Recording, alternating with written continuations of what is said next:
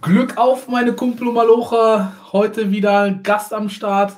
Ihr kennt ihn bestimmt schon vom letzten Mal. Ähm, ha Hamburger Fan. Fast würde ich sagen, YouTuber. Irgendwann vielleicht, aber im Moment ähm, Hamburger Fan, Experte, Zweitliga-Experte und ähm, ja, auch Jugendtrainer. Und ähm, genau, ich begrüße dich herzlich zum Stream. Moin, moin. Freut mich wieder dabei zu sein.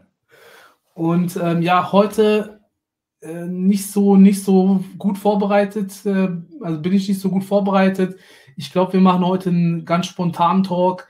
Würde sagen, wir nehmen auch viel jetzt äh, viel viel mehr die Zuschauer mit an Bord. Wenn ihr Fragen habt, wenn ihr Themen habt, worüber wir sprechen wollen, gerne rein damit. Ähm, ja, zur letzten Folge. Wir haben ja vor der HSV-Partie gesprochen. Jetzt sind zwei Spieltage vorbei. Ich glaube, erster Spieltag war gefühlt halt Hamburg aufgestiegen und jetzt zweites Spiel, hat sogar, sogar der Trainer, glaube ich, gesagt. Ähm, zweites Spieler seid ihr dann die Doofen gewesen, so gesehen. Ich glaube, sowas hat er in der Art gesagt. Äh, wie, hast du die zwei, wie hast du die zwei Spiele von Hamburg, aber auch von Schalke gesehen? Ja, ich muss zu Schalke sagen, ich war im Stadion beim HSV, das heißt, das mhm. Schalke-Spiel konnte ich leider nicht sehen. Ähm, zum HSV, ja, also es ist schwierig, weil wir eigentlich, die erste Halbzeit war richtig gut und eigentlich musst du, du musst zwei, drei mhm. Dinger machen. Äh, führst nur mit diesem einen Tor, dann fliegt Meffert, unser Sechser, raus und ab der Sekunde kam einfach Dresden und man hat es auch im ja. Stadion gespürt. Man hat gespürt, wir fangen uns gleich ein. Ähm, und unsere Spielweise, so, das haben wir auch gegen Schalke gemacht, da ist so viel mhm. Rotation drin, dass irgendwann unsere Außenverteidiger platt waren. Also ich mhm. habe Leibold in der zweiten Halbzeit noch nie so schlecht gesehen. Und das lag auch daran, dass die einfach tot waren. Die waren tot. Also es war ein verdientes 1 zu 1, aber es war ärgerlich. Es war wirklich ärgerlich. Glaubst du, das wird in Zukunft besser werden, wenn die Mannschaft so dieses, ähm, diesen Spielstil vom Trainer mehr verinnerlicht? Oder glaubst du, das hat auch einfach was mit der Kondition zu tun, dass man in der Vorbereitung vielleicht nicht so Kondition gebolzt hat und sich das jetzt ein bisschen recht, weil die nicht dieses Programm fahren können, was der Trainer von denen verlangt? Naja, ich, ich finde, so gegen Schalke hat es ja geklappt. Ich glaube mhm. einfach nur, das Problem ist, dass du auch auf den Außenverteidigerpositionen momentan, weil Wagnermann immer noch verletzt ist, sehr dünn mhm. besetzt bist. Also du musst für mich, wir müssen noch einen Außenverteidiger holen und noch einen Flügelspieler. Aber auch wenn Jatta mal nicht zieht, zum Beispiel, dann ja. hast du kaum Ersatz. So. Apropos Wagnumann, der, ich habe ja gehört, der wird irgendwie gehandelt. Onana soll ja auch, ist der schon fix gewechselt? Der soll ja für eine hohe Summe wechseln. Ist schon fix. Also da kriegt ihr jetzt auf jeden Fall viel Geld nochmal, um auf äh, Shoppingreise zu gehen. ähm, ja, das Ding ist aber so beim HSV, seitdem Bolt da im Amt ist, du kriegst ja. nichts mit. Also okay. du, du, kriegst wirklich nichts mit. Du kannst ja. spekulieren, wie du willst aber du kriegst es erst quasi mit, wenn der Transfer durch ist. Das heißt, ich kann dazu nichts sagen.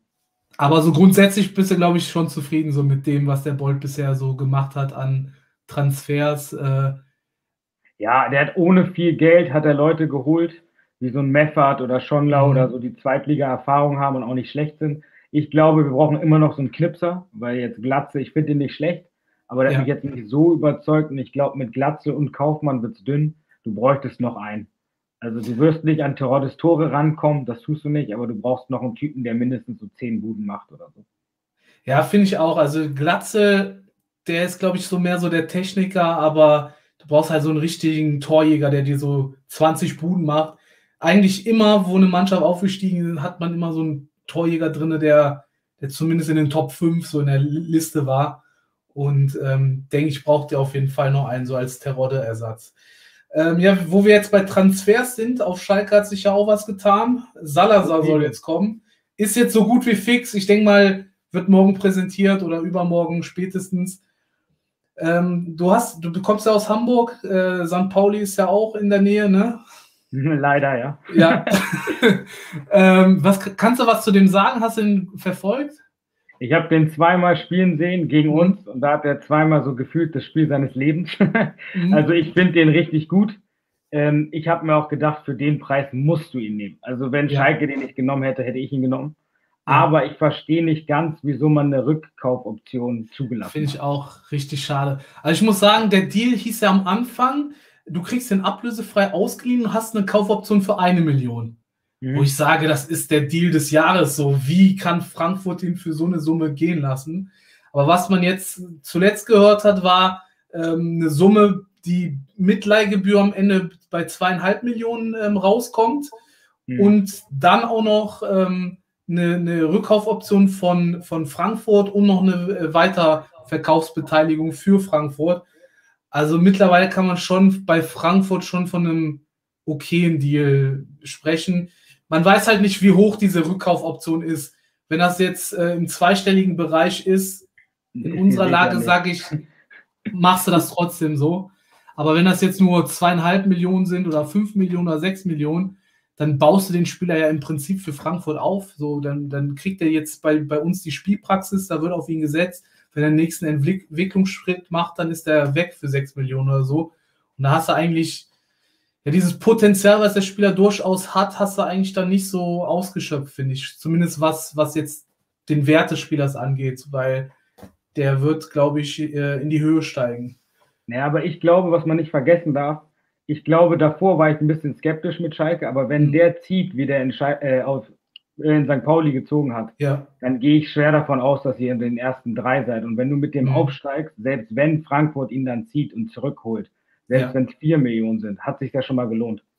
Das stimmt. Also auf jeden Fall steigt die Wahrscheinlichkeit, mit einem äh, Salazar aufzusteigen. Und mhm wenn der funktioniert, was ich auch äh, denke, der war ja auch bei Darmstadt der Wunschspieler von Gramozis, hat den da leider nicht bekommen. Und auch deswegen, glaube ich, wollte er auch unbedingt zur Schalke. Der hatte ja auch Augsburg als Möglichkeit in der ersten Bundesliga. Und er wollte nochmal den Schritt jetzt über die zweite Liga machen. Ähm, das finde ich immer richtig gut. Also wenn du Spieler hast, die unbedingt zu dem Verein gehen wollen, und da mhm. haben wir jetzt einige von. Und ähm, war ja beim HSV, glaube ich, auch am Anfang nicht so mit so Aaron Hunt und Holpi und was weiß ich nicht alles. Mittlerweile kann man da schon von so einer Mannschaft sprechen, die da Bock hat, oder? Ja, also wir sind äh, die Altlasten nicht so ja. schnell losgeworden, leider. Ja. Wir hatten dann immer noch Leute wie Holtby, Hunt und so, Alte, die die Verträge abgesessen haben. Und jetzt mhm. endlich habe ich auch mal das Gefühl, wir haben eigentlich nur Spieler, die Bock haben. Ja. Und das ist auch einfach auch als Fan geiler. Du weißt, die reißen sich den Arsch auf, die wollen nicht weg. Ich habe neulich Bremen geguckt und da sitzt Toprak im Interview danach und quasi, so quasi redet er davon, ja. dass er gehen will. So. Das ist, also Bremen finde ich so krass. Die, die, der, der hat schon wieder gesagt, der will 20 Spieler noch abgeben. So, wann? Und wir sind jetzt, ja, der letzte Monat hat schon angefangen und wo willst du neue herkriegen? So, wie, wie soll das alles passieren? Und keine Ahnung, ob das gut geht, wie das gut geht. Ich, ich bin richtig äh, froh, dass Schalke so viele Spieler äh, jetzt schon abgegeben hat. Und es sind jetzt im Prinzip nur noch Mascarell, ähm, Nassasic, wobei der jetzt auch äh, kurz vor dem Wechsel zu Florenz steht, Harit, äh, Kabak und Matondo. Ansonsten ja. hast du alle abgegeben. Das sind gerade mal eine Handvoll Spieler ähm, wo ich denke mal, ein Kabak oder so wird auch noch irgendwo unterkommen. Das wird nicht das Problem sein. Da geht es, glaube ich, eher jetzt noch um die Ablösesummen. Auch ein Harit, den wirst du auch loswerden. Matondo auch irgendwie per Laie in irgendeinen Verein aus der zweiten englischen Liga holt den sich bestimmt. Mascarell hat auch einen Markt und äh, die wirst du alle los. Da geht es, glaube ich, nur um Ablösesummen. Und da muss ich sagen, klasse Arbeit, was da geleistet worden ist ich würde ja, also wenn ich Schalke wäre und ich krieg, würde Mascarell und Kabak und so verkaufen, würde ich Harit behalten. Also ich würde das eine Jahr Risiko eingehen, mir wäre das ja. egal. Weil wenn du den in der zweiten Liga hast, ihr schießt Gegner ab. Also auch mit diesem Spielstil, ich finde den nicht gut von Gramozzo, sage ich dir ehrlich. Mhm. Also ich habe neulich nochmal geguckt, irgendwie 25 zu 9 Torschüsse für Kiel, aber wenn ja. ihr 3-0 gewinnt, dann ist es eben so. Also man muss sagen, so, das stimmt. Also Kiel hatte schon teilweise dann mehr Spielanteil. Die haben auch mehr Ballbesitz gehabt. Die hatten auch wirklich eine Phase, wo es, wo die sehr stark auf unser Tor gespielt haben. So nach der Halbzeit bis zur 60. Minute war das auf jeden Fall so, dass die da das Spiel kontrolliert haben, dominiert haben. Aber ich würde sagen, bei diesen Chancen von Kiel waren dann halt auch viele dabei, die, ja, da gehen in die Wolken der Schuss oder irgendwo aus 40, 30 Metern, wo die mal draufgeballert haben oder so. Also nicht so die gefährlichen Aktionen. Die hatten einen Pfostenschuss gehabt. Ansonsten war bei uns aber auch immer irgendwie ein Fuß dazwischen oder so. Also sehr gute Defensivarbeit. Ähm, klar, bei uns, bei uns fehlen, glaube ich, noch so die Automatismen. Ich glaube, wir haben eine Mannschaft, die so von der individuellen Klasse definitiv unter den Top 3 der Liga ist. Ist, ist einfach so. Und, aber die spielen jetzt erst seit drei Wochen zusammen. Was, was wir eben gesagt haben, ich bin froh, dass alle Spieler weg sind, aber jetzt ist auch einfach mal eine neue Mannschaft da. Die müssen sich jetzt auch erstmal finden und so. Klar, Gramozis lässt sehr defensiv spielen, aber jetzt spielen wir nicht gegen die Aufstiegsfavoriten Kiel und äh, HSV, sondern wir spielen jetzt als nächstes gegen Regensburg und Aue. Und das sind eigentlich für mich jetzt so die wegweisenden Partien. Weil wenn du da eine Lösung findest, wenn du da gut oder da die sechs Punkte holst, ne, dann, dann zeigt das für mich, dass du da auch gegen beispielsweise wie ihr gegen Dresden da auch einen Dreier holen kann so und, und, und, und das schaffen kann. Ähm, wenn du da aber jetzt sehr, dich sehr schwer tust und dann keine Lösung findest gegen eine sehr def oder gegen zwei sehr de defensiv eingespielte Mannschaften, dann wird es natürlich schwer, auch so im, im, im, weiteren Saisonverlauf, wenn man da so den Blick dann drauf hält. Das ja, ist für mich sehr wegweisend. Ich verstehe nur so, die, also ich verstehe die Taktik von ihm. Mhm. Ich verstehe den Ansatz nur nicht wirklich, weil wenn du so eine Mannschaft hast wie Schalke, ja. auch gegen Kiel, also ich habe Kiel das erste Spiel gesehen und war echt erschrocken. Mhm. Da musst du eigentlich, guck mal, ihr habt 3-0 gewonnen mit 30 Prozent Ballbesitz. Also hättet mhm. ihr vielleicht ein bisschen offensiver gespielt, hättet ihr nicht schon in der ersten Hälfte, Hälfte weggeklatscht oder so. Also ich mhm. bin gespannt. Ich, ich schreibe ihn nicht ab. Ich bin jetzt auch kein Gramotzes raus oder Hater oder so. Aber ich denke mir, mit der Mannschaft kann man eigentlich schon ein bisschen offensiver spielen. Ja, ist, ist, ist auch so, muss auch, muss auch irgendwann so kommen. Vor allen Dingen, was mich sehr stört, ist Ballbesitz, dass wir weniger Ballbesitz haben und extrem viel weniger. Weil Gramozis hat auch gesagt, ähm, da geht viel so Dominanz auch, äh, wenn der Gegner den Ball hat. Aber ich finde, das ist immer sehr, sehr schwer. Vor allen mhm. Dingen, weil wir sind kein Atletico Madrid, wo du da wirklich Spieler hast, die alles wegverteidigen können. Da passiert immer mal wieder ein Fehler und so und dann steht es auf einmal 1-0 und dann musst du auch wieder zurückkommen. Also das ist, und man hat es ja gesehen, so ein Flick ist teilweise überfordert, ein Ramfl ist teilweise überfordert, wenn es permanent aufs eigene Tor geht, ohne Ballbesitz. Da, ähm, das stimmt noch nicht und da müssen wir ja eine Lösung finden. Ich würde sagen, mehr Ballbesitzphasen im Spiel einbauen. Äh, hat äh, Becker gespielt? Becker hat gespielt, zweite Halbzeit, genauso mhm. wie Aydin. Die sind dann für Ramfl und Flick rein, äh, reingekommen. Da muss ich sagen, auch guter, guter Wechsel von Gramozis. Genauso habe ich das auch gesehen und hat nicht viel beim Spiel verändert, aber dass er das überhaupt gemacht hat, fand ich schon positiv. Ich habe auch beim HSV-Spiel nicht verstanden, wieso ein Becker nicht spielt. Also ja. ich muss generell sagen, nach der ersten Halbzeit, ich saß bei mir mit meinem Vater, mhm.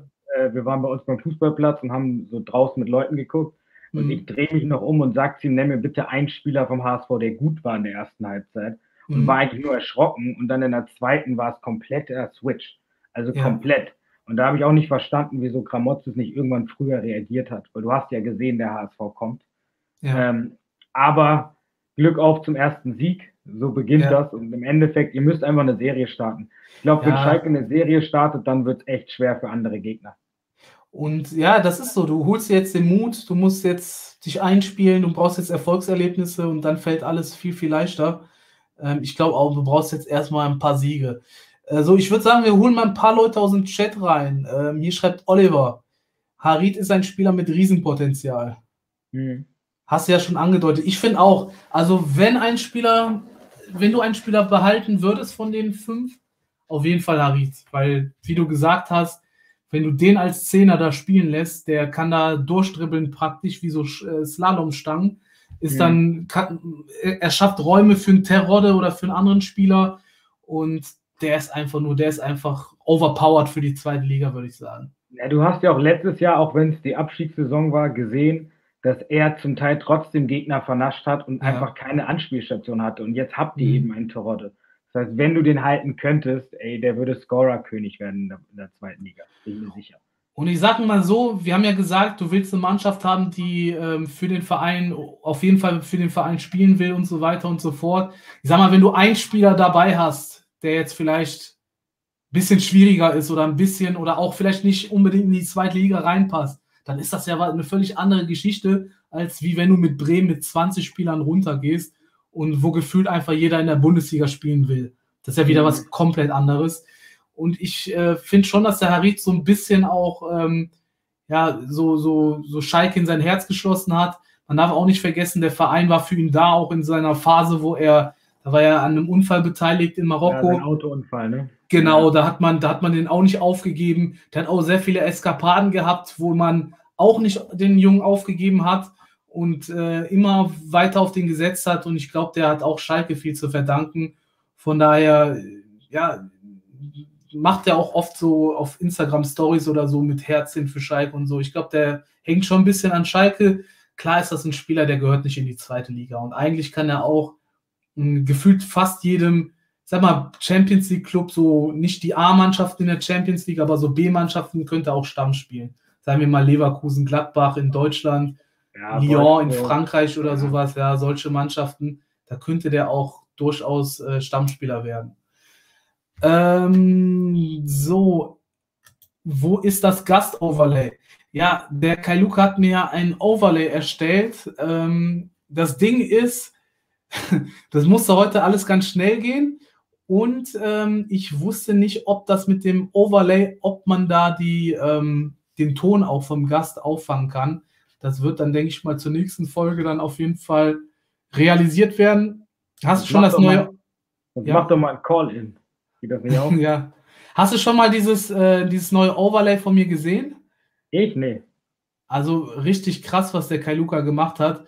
Also das sieht jetzt echt richtig professionell aus mit, ähm, mit Chat eingeblendet, mit ähm, auch wenn, wenn die Spiele äh, spielen, wenn ich da live bin bei den Spielen mit äh, Uhrzeit ein, eingeblendet und die Mannschaften, Ergebnis und so weiter. Also richtig geil. Und äh, dasselbe hat er mir auch für Gäste gemacht und ähm, ja, habe ich jetzt nur in der Zeit jetzt nicht so hinbekommen. ähm, so. Ah, hast du das mit dem Hoppy mitbekommen? Der ist ja jetzt Gold Cup-Sieger geworden, hat da auch eine richtig gute Rolle gespielt, soll jetzt wohl Angebote haben aus ganz Europa. Wie, äh, hast du schon, kannst du ein bisschen so beschreiben, wie du den siehst? Glaubst du, das ist ein Spieler mit viel Potenzial oder glaubst du, das ist so jemand, der jetzt, den du jetzt unbedingt verkaufen sollst, wo jetzt viele Angebote reinkommen? Auf Schalke ist so die Meinung generell sehr, sehr verschieden zu was, ist, was für eine Summe wird denn äh, genannt? Also, also zwischen, zwischen 6 und 10 Millionen, denke ich mal. Für 10 würde ich ihn sofort verkaufen. Mhm. Also wenn du für 10 Millionen kriegst und dann noch eine Weiterverkaufsgebühr oder so, würde ich ihn sofort verkaufen. Ich finde den nicht schlecht. Ich fand den auch in der. Bundesliga mhm. nicht schlecht. Ich glaube, da hat er auch nicht mehr so viele gemacht am Ende, weil der Druck auch einfach zu groß war auf so einen jungen mhm. Kerl. Ähm, ich finde aber, er ist jetzt nicht so ein Knipser wie Terodde. Ja. Ähm, ihr habt schon einen da vorne drin und wenn ihr wirklich 10 Millionen kriegt, dann würde ich den verkaufen. Also ich persönlich. Ja, also ich sage auch für eine zweistellige Summe absolut, da muss man den verkaufen, weil das Risiko ist halt immer da, dass er dann nicht diese Entwicklung nimmt, die er nehmen könnte. Ähm, klar, der kann. Ja, ja, genau, genau. Bei Art beispielsweise, ne?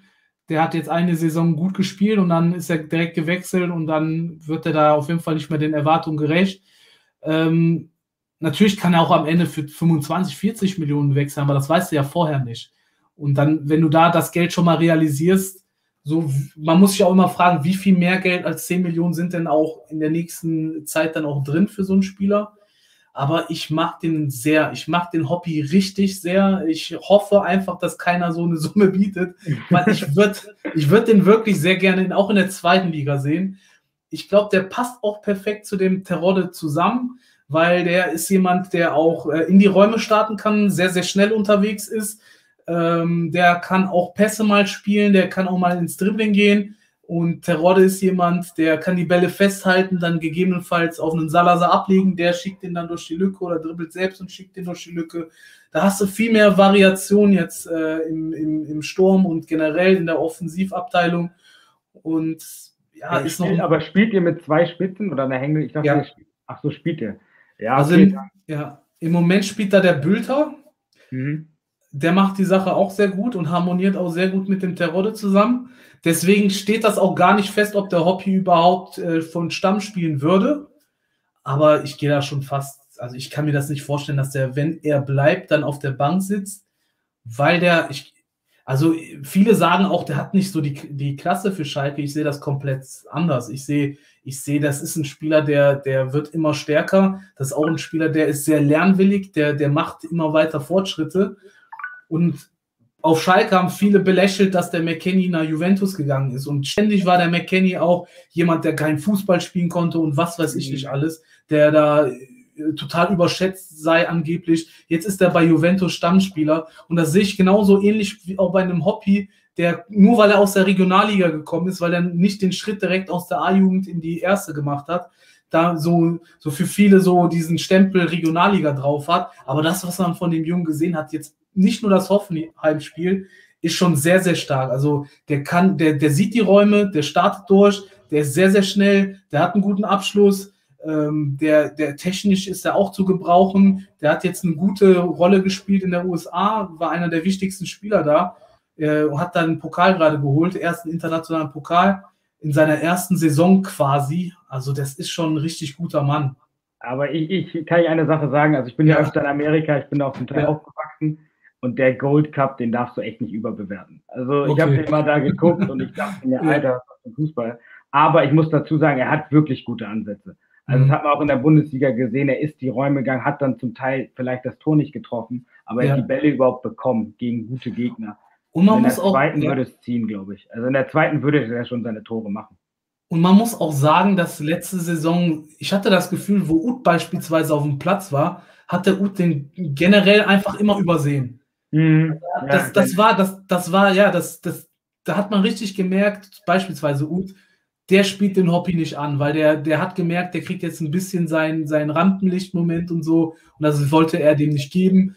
Generell was ist es für einen Stürmer auf Schalke immer schwer gewesen, Tore zu schießen, die letzten drei, vier Jahre. Also ich weiß es gar nicht. Letztes Jahr auf jeden Fall war der der beste Torschütze mit sechs Toren. Davor das Jahr hatte man auch nicht zweistellig getroffen. Da waren nämlich Harit und Serda die besten Torschütze. Äh, davor das Jahr, keine Ahnung, ich glaube, Huntela war der Letzte, der zweistellig getroffen hat. Und Burgstaller nach seinem ersten Jahr im Wechsel. Da war er auch ziemlich stark. Ansonsten hat kaum ein äh, Stürmer, generell Spieler bei uns, mehr als äh, zweistellig getroffen. Und der hat das ja nur in der Halbserie gemacht. Der ist ja erst äh, zur Winterpause hochgeholt worden, macht dann sechs Tore in der ersten Liga. Wenn du das auf zwei Runden machst, sind das schon zwölf, ist das schon zweistellig in der Bundesliga.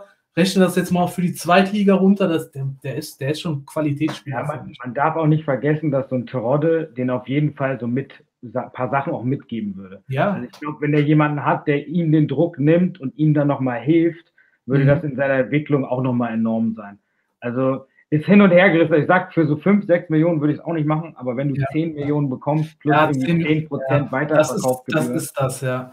Und vor allen Dingen, man darf auch nicht unterschätzen, der Schröder hat jetzt so viel aus so wenig Geld gemacht. Wenn er da mhm. 10 Millionen zur Verfügung hätte, wo der da Spieler holen kann, ich glaube, der kann da schon die ein oder andere Perle irgendwie aus dem Nichts äh, für uns finden und dann vielleicht so zwei, drei Salazars holen. Und dann ist das wieder eine andere Geschichte und dann hilft das der Mannschaft auch, glaube ich, sehr, sehr extrem. Ja, ich glaube, es kommt aber aufs Angebot an. Ne? Ja. So, ähm, was sagt der Chat ansonsten? So, ja, viel wurde jetzt über Hobby gesprochen, da hat der Chat auch ein bisschen äh, drüber gesprochen. Ähm, ansonsten schreibt mal gerne ein Thema rein, was euch noch interessiert, über was wir reden wollen. Ähm, was, was mich auf jeden Fall interessiert, so Jugendbereich. Mhm. Ähm, wir haben auf Schalke, würde ich sagen, fast die beste Jugendarbeit in Deutschland. Die letzten Jahre vielleicht nicht, aber wenn du das über die letzten 10 bis 20 Jahre siehst, denke ich auf jeden Fall. Bei mhm. uns war ja quasi, äh, bei der, als wir Weltmeister wurden, wurde, war ja der Neuer, der Ösil, Draxler wurden mitgenommen und Hövedes, waren ja alle aus der Schalke-Jugend, sind Weltmeister geworden mit Goretzka, den Leroy Sané, also hört ja nicht auf. So. Ja, die sind dann alle nachgekommen. Wobei Goretzka kam aus Bochum, der hat dann erst später ist er äh, zu uns gestoßen. Aber ja, sehr viele Kehrer und so weiter. Die Liste ist mhm. lang als Nationalspieler. Ähm, ja, mich, mich würde mal so interessieren, wie du, du, du bist ja selbst Trainer im Jugendbereich. Ähm, wie viel macht so die Technik, wie viel macht so das Talent aus und wie viel im Prinzip so die Mentalität der Spieler? Und kannst du das als Trainer auch beeinflussen? Kannst du denen da eine Hilfestellung geben? Kannst du da, oder machen die ihr eigenes Ding? Bist du da nur, sind da die Eltern für verantwortlich oder der Freundeskreis oder so? Naja, ich finde schon, es hat auch viel mit der Person selbst zu tun. Also ich, ich trainiere zwei Mannschaften, einmal die B-Jugend und einmal die neue C-Jugend. Mhm. Ähm, und du hast zum Beispiel manche Jungs von uns, die trainieren jeden Tag, macht drei Stunden am Tag Fußball, der lebt Fußball und hat dann noch das Talent. Dann hast mhm. du jemand anders, der vielleicht ein bisschen talentierter ist, aber die Arbeit nicht geht. Und dann ja. weißt du irgendwann, der andere wird sich durchsetzen. Mhm. Also es ist schon viel auch so, du musst das leben und du musst den Ehrgeiz einfach haben. Wenn du diesen Ehrgeiz nicht entwickelst, wirst du wahrscheinlich nicht so weit kommen. Ich kenne auch Leute von früher, der eine hat für HSV und Wales gespielt und hat dann irgendwann mit 17, 18 ist es so ausgeleiert, weil er dann irgendwann mhm. feiern gegangen ist oder es nicht mehr so ernst genommen hat. Das ja. heißt, nur, nur Talent bringt es nicht. Und als Trainer, du kannst schon viel einwirken. Also ich kenne das eher so von früher, hatten wir so diese Holzer-Trainer, diese ja. alten Säcke, die da einfach nur reingebrüllt haben und so. Und ich und meine Jungs, also ich mache das mit zwei Freunden von mir schon seit drei, vier Jahren. So, wir mhm. probieren schon auch jede Entscheidung, auch wenn es eventuell auch hart für jemanden ist. Du weißt, du spielst nicht mehr oder wie auch immer. Mhm. Wir machen es immer transparent. Wir erklären denen immer, es ist nichts mit dir zu tun. Unsere Mannschaftsaufstellungen werden immer vor allen ausgetragen. Wieso mhm. vielleicht einer nicht? Das heißt, man hat im Endeffekt, die können jederzeit zu uns kommen und können uns fragen, was kann man besser machen, wieso klappt es nicht oder irgendwie so. Ich finde, es ist schwierig. Viele Trainer heutzutage, die haben die Entwicklung gar nicht mehr so im Kopf, weil zum Beispiel, wenn du es mit England vergleichst, mhm. in Deutschland ist es so, du wirst als Trainer bis zu so A-Juniorenbereich oder bis zu den Bundesligisten so kaum bezahlt. Das ist alles ja. ehrenamtlich. Das heißt, viele Trainer sind nur auf Erfolg aus und wollen so schnell wie möglich hochkommen, damit mhm. du damit verdienen kannst. Und das ist nicht immer das Beste für die Entwicklung. Das heißt, ähm, in Deutschland habe ich, ich glaube, wir müssen noch viel nachholen im Jugendbereich, mhm. aber im Prinzip, man kann schon viel einwirken, auf jeden Fall.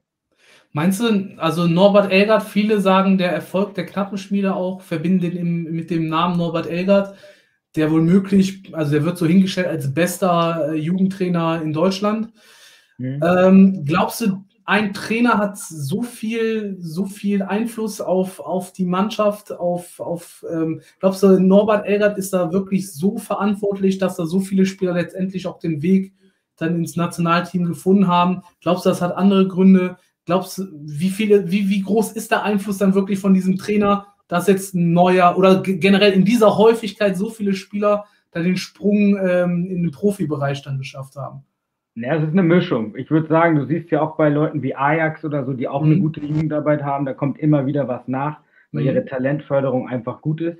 Aber wiederum auch bei so einem Rubesch, egal wo der war, egal welche Junioren-Nationalmannschaft er trainiert hat, da sind immer wieder Talente rausgekommen. Der hat die immer wieder geschafft zu formen. Mhm. Und bei Schalke ist es halt wirklich so, wenn du das über so lange Zeit so hinbekommst, wird der einen Riesenanteil daran haben. So mhm. anders wird das nicht gehen. Also Meinst du, wenn der, wenn, wenn der irgendwann in Rente ist, meinst du, das wird aufhören? Meinst du dann, wenn du den nicht richtig ersetzen kannst? Es kommt darauf an, ob er die Strukturen schon aufgebaut hat. Weil ich will jetzt nicht meinen Verein nennen, aber ja. wir haben auch einen, der ist mittlerweile Co-Trainer beim Zweitligisten. Und mhm. der hat all die Sachen so aufgebaut, dass sein Kollege, der danach gekommen ist, die Arbeit quasi weitergeführt hat. Okay, und, ja. Und unsere Mannschaft, obwohl die, die Herren echt nicht gut sind, ist zum Beispiel die U19 in der Bundesliga. Und mhm. das hat sie auch weiterhin durchgezogen. Und das ist maßgeblich, hat das auch was mit ihm zu tun, weil die Strukturen eben da sind. Er muss halt dafür sorgen, dass da jemand ist, der auch schon länger da ist, der das quasi weiterführen kann. Ähm, ähm, wie gehst du eigentlich damit um? Weil das kenne ich noch aus meinem Jugendbereich. Ähm, ich wollte auf einer anderen Position spielen, was der Trainer mir dann gesagt hat. Was ist, wenn du den auf einer anderen Position siehst? Wie, wie, wie gehst du damit um? Wie, wie klärt man das? Also für mich ist es so, also ich und meine Jungs oder meine Trainer, so wir entscheiden das immer im Wohle der Mannschaft. Mhm. Und wenn du das den meisten Leuten auch richtig erklären kannst und sie dann auch merken, das ist erfolgreich und das zieht, dann gehen sie mit. Wenn du jetzt Entscheidungen triffst, ja, ich stelle den nach hinten links, er kann es nicht, äh, dann wird es schnell zu Unruhe kommen. Mhm. Ähm, aber in den meisten, also ich würde jetzt auch nicht einen Typen, der Stürmer ist, auf, ja. keine Ahnung, in die Abwehr stellen. Aber wenn ich schon mhm. merke, ein Zehner ist besser auf der Sechs, weil er dann eher die tiefen Pelle spielen kann, dann ja. probiere ich das schon zu machen, so dass ich dann auf den zugehe und ihn probiere davon von meiner Idee zu überzeugen. Mhm. Und wenn, wenn das klappt, dann ziehen die auch meistens mit. Gibt es eigentlich, ähm, wie lange machst du das jetzt, wenn ich fragen darf? Oh, also wir hatten ja eine Corona, ein Jahr Pause dazwischen quasi. Ähm, ich würde sagen vier Jahre, viereinhalb Jahre. Vier, gibt es vielleicht mal so einen Spieler, wo du wo du den echt schwach eingeschätzt hast oder, oder ich weiß nicht, wie man das nennen mag, aber wo dann am Ende dann richtig überrascht war, wie der dann durchgestartet ist, entweder bei dir im Verein oder halt woanders? Ja, das, das gibt es öfter. Also es gibt öfter so, wir hatten ein paar Jungs, äh, zum Beispiel, wir hatten früher, als ich angefangen habe, mein Torwart, der saß in der Ecke und hat irgendwie den Rasen gepflückt und so, und dann mhm. meinten wir so, du spielst nicht mehr im Tor, das kann nicht sein. Und jetzt ist er Co-Kapitän im defensiven Mittelfeld und ist komplett mhm. aufgegangen. Auch ein Rechtsverteidiger, wo wir dachten, eigentlich müssten wir den zur zweiten schicken. Auf einmal macht er solche Sprünge. Das mhm. ist auch in dem jungen Alter auch krass, wie schnell die lernen. Also wenn du die wirklich jung hast, wir haben die damals mit zehn oder elf übernommen mhm. und haben damals schon angefangen, genau, wir wollen 4-3-3, offensives Pressing, schnell Verteidigung von vorne rein, die quasi so geschmiedet. Hattet, hattet ihr das schon mit elf gespielt? Ab welchem Jahrgang spielt man mit elf? Was glaube ich, F-Jugend? F-Jugend schon mit elf? F-Jugend oder E-Jugend? Nee, F bin mir jetzt gar nicht mehr sicher, aber ja, ja, wir hatten, wir hatten die schon wirklich recht früh. Ja. Und dann ist halt das Geile, wir haben auch viele ausgetauscht, so ist nicht, aber der mhm. Kern ist immer noch da. Ähm, und dann wissen die halt genau, wie du spielen willst. Die wissen genau, wie du deine Philosophie umsetzen willst und so. Und das mhm. ist schon krass zu sehen. In dem Alter kannst du viel mehr mit denen machen als später. Also ich habe auch vor zwei Jahren angefangen mit einer U16, die jetzt nicht so gut ist wie die Jüngeren. Mhm. Und da merkst du halt, die sind schon quasi so geschliffen zum größten Teil. Ja. Da ist es dann schwer, nochmal die komplett umzuändern in der Position und so. Wenn du jung anfängst, äh, kann man das noch recht oft und recht viel und erfolgreich machen. Würdest du, würdest du sagen, so die jungen Jahre sind extrem wichtig? Je früher du mit dem Fußball anfängst, desto, desto äh, mhm. bessere Entwicklung wirst du am Ende nehmen? Ja, es gibt immer Ausnahmen. Es gibt wirklich immer Ausnahmen, aber meistens ist es so. Also die, die richtig jung anfangen, äh, die sind meistens auch echt schon weiter in der Entwicklung. Und was mich auch noch interessieren würde, wäre ähm, so Körperlichkeit, gerade so im jungen Alter. Da gibt es ja Spieler, die sind so von ihrer Entwicklung in der Pubertät und was weiß ich nicht alles viel, viel weiter als andere Spieler. Macht das äh, so einen großen Einfluss in der Jugend oder kann man mittlerweile sagen, dass da eher so die Taktik, Technik schon entscheidender ist? Oder weil ich kann mich damals erinnern, als ich in so im, im E-Jugendbereich war, da war ein großer, langer Spieler, der viel schneller, größer war als alle Spieler und den konntest du einfach mal schicken. Und der war nicht der beste Fußballer, aber der war halt immer zehnmal im Spiel frei vom Tor und dann hat er auch drei Buden gemacht oder so. Ja, also du merkst das schon. Ich finde, man merkt es besonders so ab der C-Jugend, wenn die anfangen auch größer zu werden und Muskeln und so zu bekommen, dann finde ich, merkst du es eher andersrum. Wenn da einer ist, der super viel Talent hat und körperlich nicht mitkommt, dann fällt der schnell ab. Mhm. Ähm, da merkst du schon eher, aber na klar, es gibt auch, wir haben gegen Mannschaften gespielt, die einfach nur einen super schnellen Typen vorne drin haben. Und mhm. dann mussten wir zum Beispiel was ich nicht gerne mache, aber so hinten so Libero lassen. Ja. So, oder so eine Manndeckung machen, weil der sonst immer wegzieht. Also das hatten mhm. wir auch schon. Ähm, aber ich finde, man merkt es erst so, wenn die so mäßig in Richtung Vorpubertät oder so gehen. Und du merkst halt, manche sind auf einmal schon Schränke. Wir haben einen Typ bei uns, der ist größer als mein Co-Trainer, der 1,85 ist. Ja. Und du denkst dir so, der ist 13, das ist nicht dein Ernst. Das ist unser. Torwart, aber der ist riesig. Und da merkst du halt schon den Unterschied, wenn du gegen eine andere Mannschaft spielst und die haben einen kleinen Torwart, in der mhm. C-Jugend das erste Mal auf Elberfeld, da ballerst du die Dinger von hinten rauf und der geht rein. Und bei unserem ja. halt nicht. Also das merkst du schon auch, ja. Ja, krass. Ähm, okay, äh, wer ist dein Gast? Könntest du dich vielleicht noch mal vorstellen? Ja, moin, ich bin Luca aus Hamburg. ich bin HSV-Fan eigentlich, aber ich bin gerne auch mal bei äh, Schalke dabei. Ja.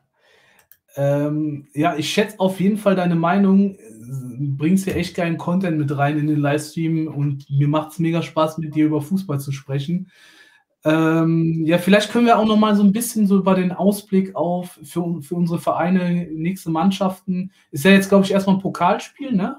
Mhm, ja, Pokal am, am Wochenende Pokal und dann die Woche darauf erst wieder Bundesliga. Ja. Gegen wen spielt ihr im Pokal? Oh, ich glaube gegen Braunschweig. Das ist schon eine bessere Mannschaft, ne? Ja, ihr habt so ein Willingen oder irgendwie sowas. ja. Warte, ich, ich will jetzt nicht lügen, ich gucke einmal schnell nach, aber ich glaube, ja. wir spielen gegen Braunschweig. Ja, Braunschweig auswärts. Hm. Meinst du, das wird eine heiße Kiste oder glaubst du, dass das packt ihr schon locker?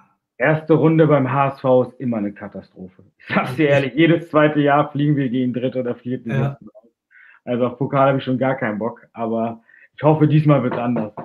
Und dann in der Liga gegen? Pauli. Pauli auswärts. Oh, das wird, das wird ein schönes Spiel. Man spielt, ihr spielt aber nicht zeitgleich mit Schalke, oder? Weil das würde ich mir gerne angucken. Wir spielen an dem Freitag. Ich weiß nicht, wann ihr spielt. Ich guck mal, wann wir spielen. Äh, wir müssen, glaube ich, gegen Aue spielen nächsten Spieltag. Kannst du mich da irgendwie warnen, auf was man da aufpassen muss gegen Aue?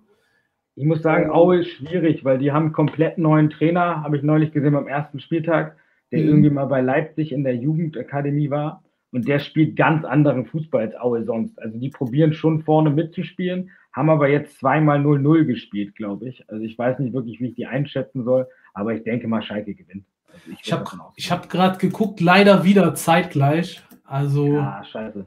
letzten Spieltag ja auch schon, ne? jetzt am Sonntag und dann ersten Spieltag eigentlich auch schon. Also wir spielen ja quasi immer äh, um diese gleiche Zeit.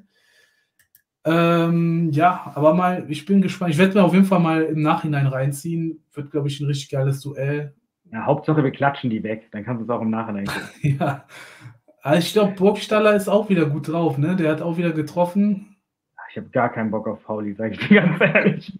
ich habe da überhaupt keine Lust drauf. Die spielen ja. auch echt guten Fußball seit irgendwie einem halben Jahr. Mhm. Also mal schauen. Aber ich glaube, ich hoffe ja, weil es noch am Anfang ist in der Saison, ja. dass wir diesmal, dass wir diesmal gewinnen. Ja, ähm, ja, was denkst du über, überhaupt über Bremen? Die haben jetzt vier Punkte geholt, ne? Sind eigentlich voll, voll, im Soll. Ja, ich fand, die hätten auch null Punkte eigentlich ja, ja. gehabt, so nach den Partien. Und, wenn, ähm, wenn, Hannover und Düsseldorf einfach nicht so blöd wären, hätten die ja. beide verloren. Also die waren in beiden, beiden, Spielen eigentlich schlechter. Und einmal unentschieden noch und einmal gewinnen sie das sogar noch durch einen Elfmeter in der letzten Minute. Also, der ja eigentlich auch noch unberechtigt war, ne? Das ja, war ja, das war eine Diskussion über den Elber. Und ja, da haben die vier Punkte jetzt geholt, ähm, hätten auch ein oder null äh, Punkte. Wann, fandest du den unberechtigt? Weil für mich ist das ein klarer Elfmeter. Weil für mich ist es so klar. Zumindest mal diskutabel, ich sag mal so. Also man kann ihn auf jeden Fall pfeifen, aber. Das Ding ist, er trifft den Ball nicht. Also er, er kommt zu spät und trifft nur das Bein. Klar, mhm. es ist so ein typischer Elber, wo du dich einfach im letzten Moment davor stellst. Also der kann ja. nichts machen, aber er, er legt ihn halt im Strafraum. Leider. Ja, ja. wo war der Elfmeter unberechtigt? Mach mal die Augen auf. Okay, er Leute. fühlt mich, er fühlt mich. Okay, Leute. ähm, ja, so ballert mal die letzten Fragen raus. Ähm, willst du noch über irgendwas reden? Fällt dir noch irgendwas ein? Also, wenn ihr Fragen habt, könnt ihr mich gerne fragen. Ich wüsste jetzt nicht was, wenn ich ehrlich bin. Cooler Typ, dein Gast, tolle Einstellung. Super, dass er solche Trainer gibt. Richtige Einstellungen, super. Korrekt, danke. Danke, Ede, glaube ich. Ja. Ede 04. Ich finde, ich, also ich finde es auch richtig geil, ähm, so, so Trainer zu sein. Ich möchte auch, ich habe es ja schon gesagt, irgendwann mhm. möchte ich auch mal sowas machen. Aktuell noch nicht, weil ich so viel zu tun habe mit meinen eigenen Kids. Die sind ja noch richtig jung. Aber so, wenn der ins Alter reinkommt, Bambini und so, würde ich gern mal den irgendwie so als Co-Trainer oder als Trainer begleiten und dann halt komplett mit einer Mannschaft. Was hältst du eigentlich davon, so, so Trainer, die gleichzeitig auch Väter sind? Ich hatte ja auch so einen äh, unter mir und manch, bei manch, manchmal denkst du so, ja, der bevorzugt den, manchmal denkst du so und so. Wie, wie was denkst du darüber? Ich finde, bis zu einem gewissen Alter kannst du es machen. Aber ich mhm. glaube, irgendwann, wenn du auch auf Leistung gehst, wird es schwierig. Weil da musst du vielleicht Entscheidungen treffen, die dein Sohn nicht akzeptiert und dann wird es mhm. zu Hause schwierig. Also bei uns ist es wirklich so, wir gehen eigentlich nur nach Leistung und stellen nur nach Leistung auf. Und wenn mein Sohn auf einmal schwächelt, wüsste ich nicht, wie ich das verkaufen soll, dass ich ihn nicht mitnehme zu spielen oder so. Aber ich glaube, bis zu 11, 12 kann man das auf jeden Fall machen. Generell ähm, lässt ihr da so Beziehungen komplett raus? Weil ich, ich kann mir vorstellen, so zwischenmenschlich hat man ja auch viel mit den Spielern zu tun. Da wird man, ist ja vielleicht sogar eine Freundschaft entstanden oder sowas ähnliches. Ähm, kann man das komplett außen vor lassen in seiner Beurteilung oder wie würdest du, wie würdest du damit? Das ist ja naja. bei Vater-Sohn-Verhältnis ja nochmal extremer, aber du, du baust ja auch irgendwie eine Beziehung zu den Spielern auf. Na, eigentlich, also es kommt immer darauf an, wenn du eine zweite trainierst oder so, dann ist auch vieles menschlich. Dann denkst du, mhm. okay, komm. Aber wenn du jetzt eine erste machst und auf Leistung gehst, dann musst du das eigentlich machen, weil du mhm. willst ja auch gewinnen und es geht auch generell darum, die ganze Mannschaft will erfolgreich sein. Dann musst du ja, ja auf Leistung gehen. Aber es ist schon manchmal schwierig, besonders wenn du jetzt jemanden cuttest oder so, den du seit mhm. drei, vier Jahren hattest und du den wirklich magst. Dann ja. ist es auch echt schwer. Aber bei uns ist auch so, die merken das schon recht schnell. Wenn sie bei uns nicht rankommen, dann geben wir den Spielpraxis in den niedrigeren Mannschaften, dann mhm. trainieren die doch noch mit uns. Das heißt, es kommt meistens nicht von heute auf morgen so, ey, du ja. bist jetzt raus, du spielst gar nicht. Das deutet sie auch schon ein bisschen an, aber es ist schon nicht immer einfach, weil die Jungs wachsen dir natürlich ans Herz. Mhm. Also, und, und was mich auch interessiert, wie würdest du so die, die, das Klima in der Mannschaft, so den Teamgeist beschreiben? Ich sage mal, Spieler, die vielleicht leistungstechnisch nicht voll da sind, aber für die Kabine sehr, sehr wichtig sind. Ist das überhaupt im Jugendbereich schon entscheidend? Und ähm, wie geht man mit sowas denn um? Ja, gibt es immer. Also wir hatten, wir haben immer ein, zwei Leute, die vielleicht noch nicht so ganz an der ersten Elf dran sind, mhm. aber wenn die einfach auch beliebt sind und die anderen auch pushen, dann wieso mhm. nicht? Also es gibt auch, es gibt auch Leute, wenn du jetzt vielleicht einen Sechser hast, der ein bisschen besser ist, aber der nur mhm. rummeckert mhm. und die anderen anmeckert, nehme ich den raus. Also ja. ich bin eh so ein Trainer, ihr müsst konstruktiv bleiben, ihr müsst einander pushen, ihr seid eine Mannschaft, auch wenn es mal ja. nicht klappt. Und wenn du immer nur rummeckerst, dann würdest du bei mir auch auf Dauer nicht spielen. Was bei mir so voll, voll wichtig war als in meinem Jugendbereich, ähm, ich konnte gar nicht mit Trainern oder generell hatte ich das Gefühl, auch die anderen Spieler konnten nicht so gut mit Trainern umgehen, die halt ähm, nicht ehrlich waren, die halt, die halt nicht, die nicht dem Spieler direkt gesagt haben, was, was Sache ist. Bestes Beispiel, wir hatten einen Trainer, da waren wir, glaube ich, in der A-Jugend ähm, und der hat uns hochgezogen für die erste Mannschaft, so ein paar Leute und hat dann halt äh, uns versprochen, der A-Jugend dann Döner auszugeben, so. eigentlich voll die kleine Sache, so, ne? Und hat er nicht ausgegeben. Der hat halt nie, ja, wirklich, der hat nie einen Döner ausgegeben. Und so, das war so lächerlich. Jedes, jedes Mal, wenn die A-Jugend diesen Trainer gesehen hat oder irgendwie standen wir dann so im Kreis oder man hatte mal zu tun mit der ersten Mannschaft, gab es im Hintergrund einer, der gerufen hat, wo bleibt der Döner oder sowas. weißt du, ich weiß. Und, und der hat dann halt bei der A-Jugend mehr oder weniger auf gut Deutsch gesagt verschissen gehabt. So, nur, nur weil er sein Wort gebrochen hat. Hätte er gar nicht mit dem Döner angefangen, dann gäbe es diese Geschichte gar nicht. Ähm, ja, das, das, ist auch wichtig, weil im Endeffekt, du forderst ja viel von denen und ja. du erwartest auch viel von denen. Und dann finde ich es auch völlig legitim, dass die dann sagen, wenn er jetzt nicht ehrlich ist oder so, dass genau. wir nicht mitziehen. Dann hast du auch schnell keinen Bock. Deswegen ist es auch bei uns so, wenn wir Mannschaftsausstellungen oder so machen, machen wir es vor allem und machen es auch ja. transparent und erklären es auch immer, weil wir hatten früher auch zum Teil Trainer, du wusstest nicht, wieso du nicht gespielt hast. Ja, genau. Du hast keine Ahnung, wir haben das nicht erzählt, meintest, du kommst bald rein und hast du gar nicht gespielt. Ja. Und dann ist es so, dann musst du auch offen mit den Karten spielen und dann machen die meisten Jugendlichen und Kinder das auch mit. Also die Erfahrung habe ich gemacht. Und äh, was mich auch interessiert, man hört immer mehr so in der Bundesliga und so, dass die Spieler mit dem Trainer diskutieren äh, über Trainingsinhalte, über Aufstellungen und so weiter und so fort. Ähm, würdest du sagen, das ist, äh, wie, wie handhabst du das? Und äh, würdest du sagen, dass das ja besser ist in so eine Richtung oder eher so sagen, ja, der Trainer hat das letzte Wort und der Trainer ist wirklich der Entscheider? Ich kann mir vorstellen, im Jugendbereich ist sowieso nochmal eine andere Sache, aber wie siehst du dieses Thema? Das würde mich auch mal interessieren. Äh, wir, äh, wir fragen die Jungs gar nicht.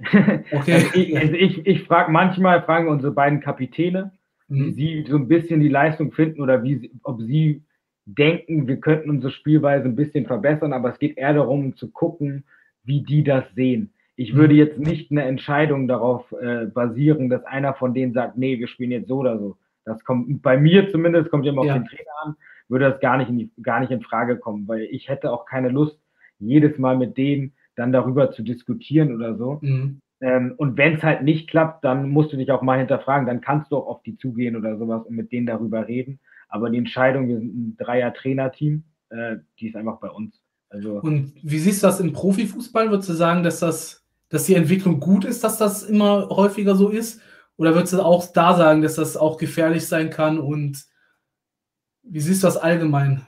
Naja, ich glaube, es kommt immer darauf an. Also wenn du jetzt so einen Cristiano Ronaldo im Team hast, dann macht mhm. es schon vielleicht Sinn, ihn mit einzuweihen. Aber ich finde trotzdem, dass wenn du ein richtiger Trainer bist und du auch von deiner Philosophie überzeugt bist, das ist mhm. genauso, ich finde nicht alles von Gramozis gut, aber mhm. ich bezweifle, dass Gramozis zu Terodde oder so geht und jetzt von dem sich reinschnacken lässt.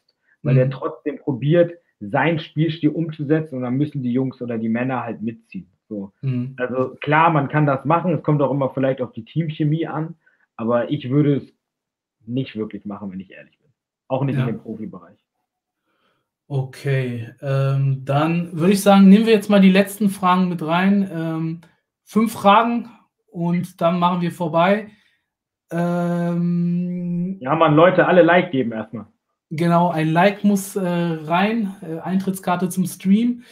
Dann, was ist hier gut? Was ist eine interessante Frage? Ist Gramozis ein neuer, knapp, aber reicht doch Trainer?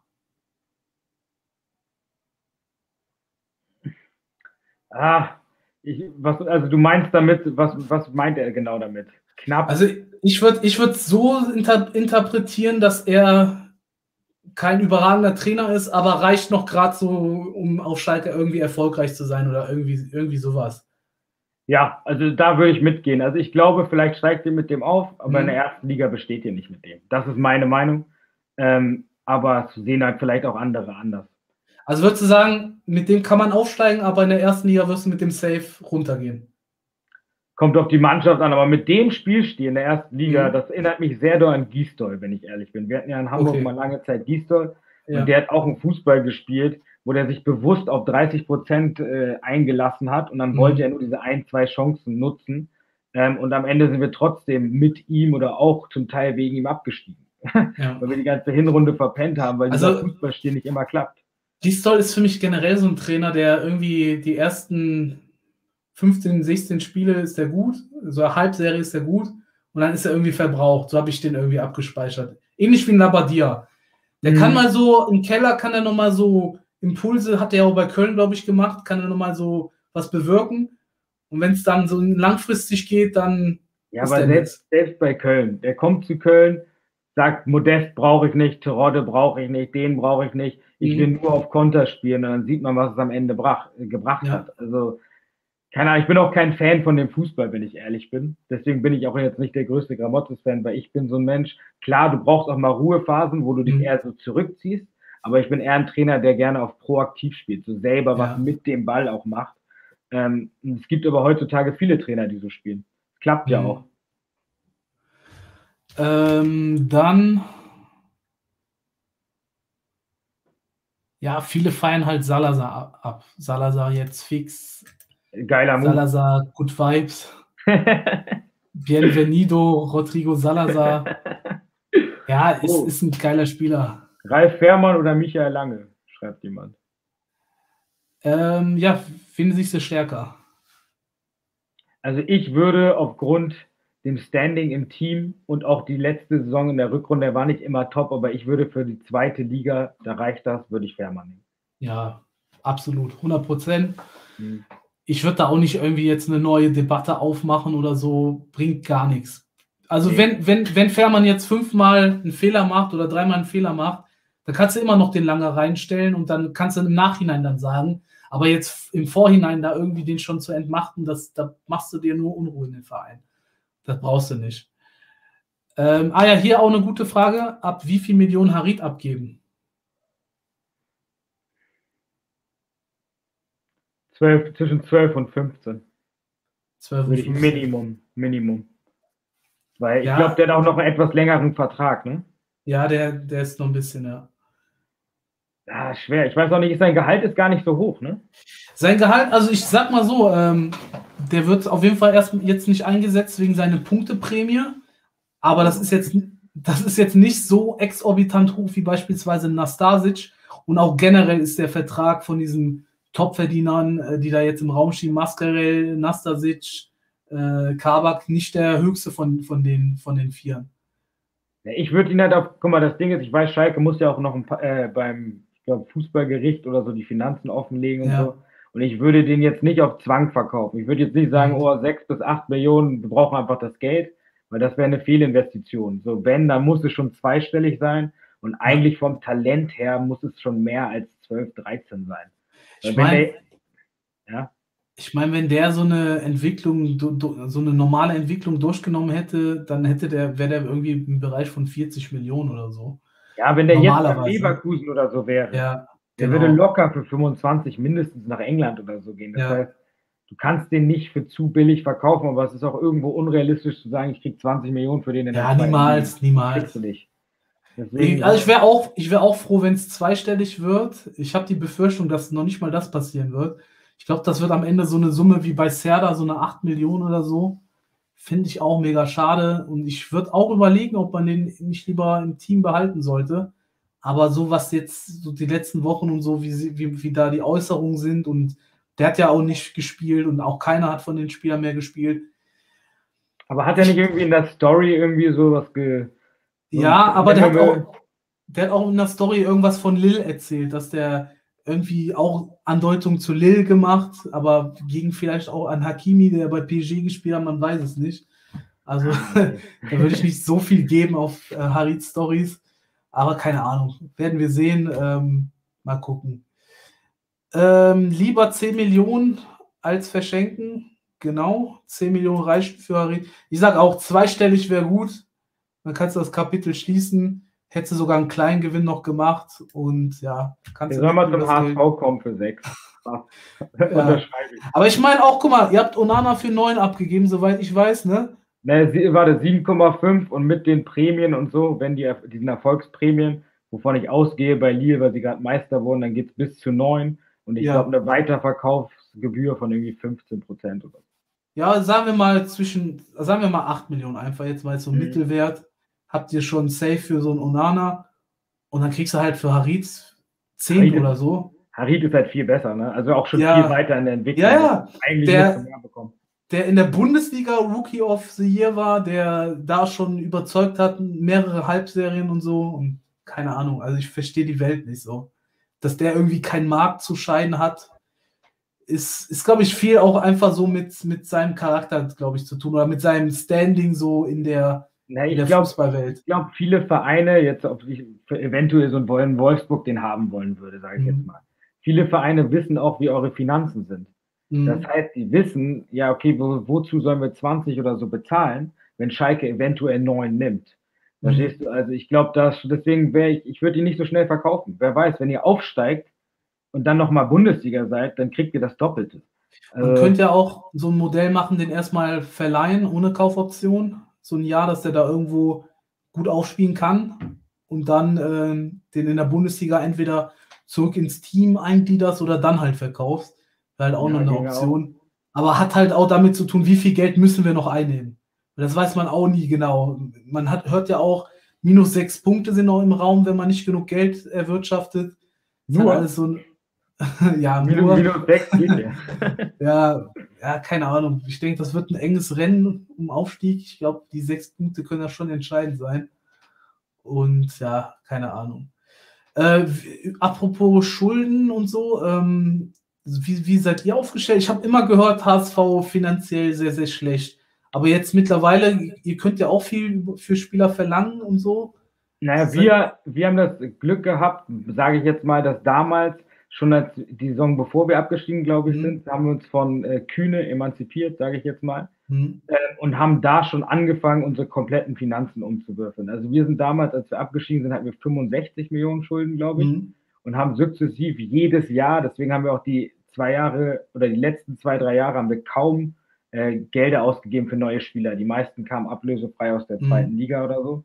Ähm, und jetzt sind wir, glaube ich, am Punkt, wo sie endlich das Geld, was sie einnehmen, auch nicht immer wieder äh, in, äh, investieren müssen in die Löcher stopfen, sage ich jetzt mal. Also ja. Können mittlerweile, zum Beispiel Onana, die haben gesagt, dass das Geld direkt wieder in die Mannschaft geht. Das mhm. war früher nicht der Fall. Früher hätten wir vielleicht Onana verkauft für neun, hätten für zwei Millionen jemanden geholt und die anderen sieben wären weg gewesen. Mhm. Also mittlerweile sind wir gut aufgestellt und wir sind halt nicht mehr, sorry, wenn ich das jetzt so sage, an den Eiern von Kühne. Also, also ja, also würdest du schon sagen, dass äh, dementsprechend war der Abstieg oder des, dafür war der Abstieg schon ganz gut, um die finanzielle Situation in den Griff zu kriegen? Auf jeden Fall, aber wenn wir halt direkt wieder aufgestiegen wären, dann wären wir schneller da rausgekommen, sage ich mal. Aber für generell war es nicht schlecht. Und für mich, was mir wichtig ist, HSV war nie der Ausbilderverein. Wir waren nie der mhm. Verein, wo wir Leute, Talente aus Hoffenheim geholt haben, wie Onana, und haben sie ausgebildet und dann fürs Dreifache verkauft. Und mhm. diesen Weg mussten wir halt einschlagen, weil kein anderer Weg möglich war. Und mittlerweile ja. siehst du, es fruchtet. Ja, das meine das mein ich so, weil ich kann mir vorstellen, wenn ihr direkt hochgegangen wärt oder auch wenn wir direkt hochgegangen wären, äh, oder werden, dass wir da in alte Muster zurückfallen. Aber wenn du dir so eine Struktur jetzt über drei Jahre, wo du dann in der Liga geblieben bist, dann erstmal aufbauen musst, dann ist das ja auch die Wahrscheinlichkeit höher, dass du dir auch eine Klasse drüber dann äh, so weiterführst. Und dann kann wirklich was Langfristiges entstehen. Ich, ich weiß es nicht. Man sagt ja immer, so ein Abstieg und so ähm, kann irgendwie dem Verein helfen oder das tut einem Verein mal gut. Ich weiß es nicht.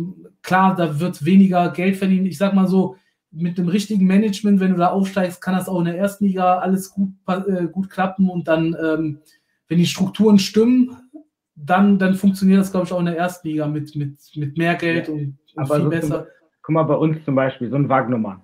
Mhm. Wenn wir direkt hochgegangen wären oder zum Beispiel unsere Muster nicht geändert hätten, mhm. wir wären niemals zum Zug gekommen. Wir mhm. hätten niemals jetzt Angebote aus England für irgendwie zwischen 10 Millionen und irgendwas. Die U21-Nationalspieler, wovon wir auch recht viele haben, wären nicht zu uns gekommen hätten ja. wir immer noch diesen typischen Kühne, so ein Wanderfahrt muss gekauft werden für 15 ja. Millionen, obwohl wir uns den nicht leisten können, dann spielt ja. scheiße. So, also ich bin schon froh, dass wir diesen Weg eingeschlagen haben, aber es ist auch schon nervenberaubend, weil man sich irgendwann denkt, ey, ist jetzt das dritte oder vierte Jahr in der scheiß zweiten Liga mit dem Kader, eigentlich muss das irgendwann auch schneller gehen. Also man kann da auch so hängen bleiben. Ihr hattet ja früher auch so Spieler, Chupomoting oder so, der ja auch aus HSV kam, aber da irgendwie nie irgendwie mal gespielt hat oder so. Jonathan Tah. Jonathan genau, Tah. Also das, das check ich auch nicht. So, äh, da hattet ihr schon einige Spieler, wo man so, ich meine, Chupo Moting hat bei Schalke später gespielt, jetzt bei Bayern, äh, PSG hat er gespielt und der war schon, der ist schon, klar, jetzt vielleicht kein äh, Lewandowski oder so, aber der ist schon ein klasse Spieler, der HSV auch weiterhelfen äh, konnte. Bei, guck dir den bei an. Ja, mit genau. bei den dreimal gespielt, gefühlt, dann ausgeliehen, weil der beste Spieler irgendwie der zwei Liga haben wir zurückgeholt, direkt weiterverkauft. Also ja, ist, check, check man. Also das hatten wir, wir haben auf Schalke zwar immer richtig viel Geld rausgeballert, aber die Jugend haben wir trotzdem immer spielen lassen. Also das muss ich schon sagen. Ähm, aber wenn ihr das jetzt auch tut, dann ist das doch richtig gut und ja, ich glaube, das ist der richtige Weg. Äh, ja, in dem Sinne würde ich sagen, war, wir sind jetzt fast eine Stunde wieder dran, war es eine richtig geile Folge. Er hat, hat auf jeden Spaß Fall, gemacht. Hat Glück Bock auf. gemacht. Glück auf. Und ich wünsche euch auf jeden Fall allen eine schöne Nacht. Äh, ich bleibe noch mal eine halbe Stunde oder Stunde, zocke ich noch auf Twitch den Manager weiter. Wer Bock hat, kann rüberkommen. Und ansonsten sehen wir uns dann morgen oder übermorgen, Donnerstag wieder im Livestream, 22 Uhr. Schaltet gerne ein. Alles klar. Ciao, Tschüss. Ne? Ciao, ciao.